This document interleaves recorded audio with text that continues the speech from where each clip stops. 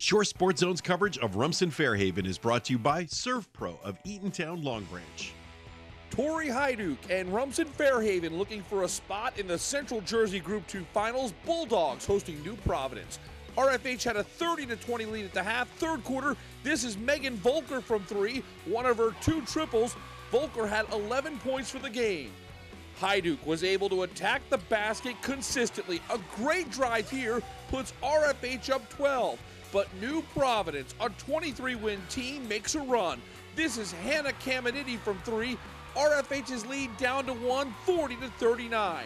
But Hyduke would make sure that RFH never gave up that lead. Another lay in puts the Bulldogs up five early in the fourth.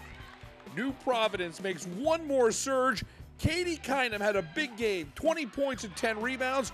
RFH leads 48 45 with 3.49 to go. But once again, Tori Hyduke responds. The ball lands in the hands of the RFH guard. She banks it in.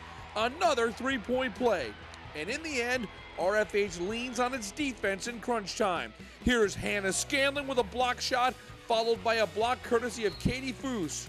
Rumson puts the game away at the free throw line. Tori Hyduke with a career high 30 points. The Bulldogs are back in the Central Jersey Group 2 Finals. 55 to 45 is your final. It'll be RFH and Manasquan in the title game for a third straight year. We talked with Tori Hyduke about handling the scoring load and facing the Warriors once again with a trip to the state semifinals on the line.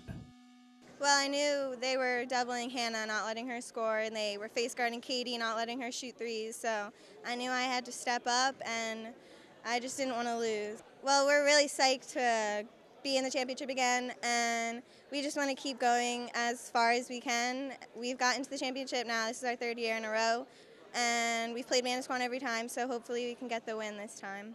For more Jersey Shore sports, log on to shoresportszone.com.